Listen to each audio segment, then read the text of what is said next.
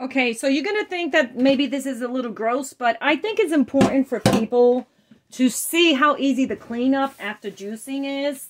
Um, I'm going to use and already, I reuse my little baggies because a lot of times I pull them out of the box, but I don't use them. So see, this even looks clean. But anyway, I give the pulp of my juicing to the animals. Okay? And maybe you could do this too. Why clutter a garbage truck with something that's going to stink? It's all rotten. When you could actually um, make a difference. Look at that. Sometimes I get chunks. Uh, this is this this is the third machine that I've bought of the same kind. It's the first one that doesn't really do a good job always. Um, so I just want to share with you how easy it really is to clean this. It looks like a mess. It really does. But don't be discouraged about doing this because look, it takes me two minutes. It takes me two minutes to do this. Watch. Okay. Then I take this out to the animals.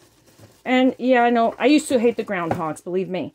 But no animals wanted to eat the, my pulp. And I was discouraged that, you know, even though it could go back to the ground, I was discouraged. So one day, it started, some something started eating it.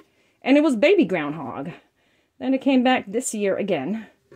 And I've been doing this for years, but it's the first time I got, first of all, the idea to, to feed this to, to an animal, to the animals if they would have it. Because I think it's strange because it's mixed, right?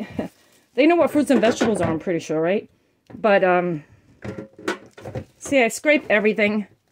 See, look at that. All the pulp. And I give it to the animals. Why not? Why put it in the garbage? Why let the squirrels try to break into your garbage can, right? Now, so now that's ready to be taken out. And look, just see how quickly I wash this. One, two, three, seriously. And actually, I don't, it doesn't take a lot of water. It doesn't take a lot of water. I actually feel water is a commodity, and we're getting to the time where it may become more and more of a commodity. So I reuse my water, okay? So I scrub this within the water. So I don't have to be you know, losing a lot of water while I'm doing this. Well, a lot of people, they just let the water run. And now I'm paying for my water and it just went up $15 pretty much on the average per person. And it went up before that just about a similar amount two years ago and everybody was arguing. So when they were going up, I posted it on the local Facebook page. Everybody ignored it. I gave them a, a form, how to protest, how to stop it in court but they wouldn't do it, right? So then when it went up the other day, it's like, look at this. Look at the letter I got. Well, pay attention, right? I can't be the only one to fight for um, the community. So see, I'm washing it with dirty water. washing it with dirty water.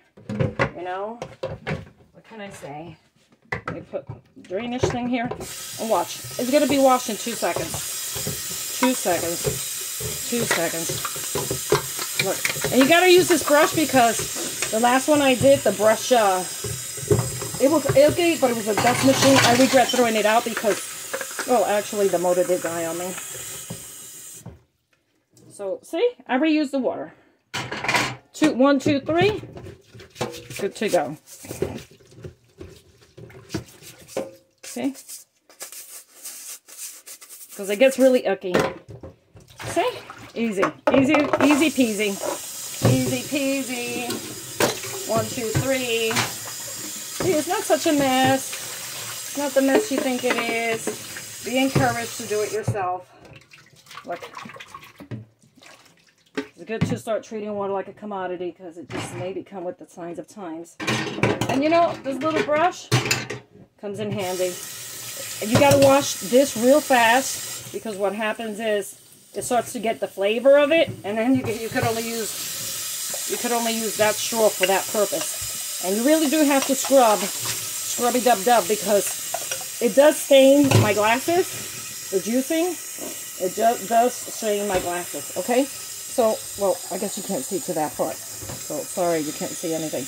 But, you know, I use a straw because I sip it up. You gotta slurp it, right? I slurp it See how quickly that is? Now, people don't want to juice because it's a lot of work. And you know what? It's, it's not as much work as you think it is. It really isn't. So this is why I'm sharing this with you. Because the dishes part of it should not deter you uh, from juicing at all. Two seconds. Two seconds of a thing. See? Now you just let it sit and dry in the rack. And, and that's it. End of story. You put it away. So now I'm going to take this and feed my outdoorsy animals who appreciate my pulp. Very nutritious. Extreme. Look at this. There are chunks in here that this machine uh, didn't take. Now, don't fault the machine. It's it, it's this actual one because I've already purchased three of them. This is the only one. Uh, actually, I have another. One. I'm going to take the other one out in the box. Uh, it, the first one did a great job. So sometimes some things are a little faulty. And it is only cost me $19. I forget the brand. It doesn't even show the brand. It's like a no-namer. Okay, thank you for watching and have a great day.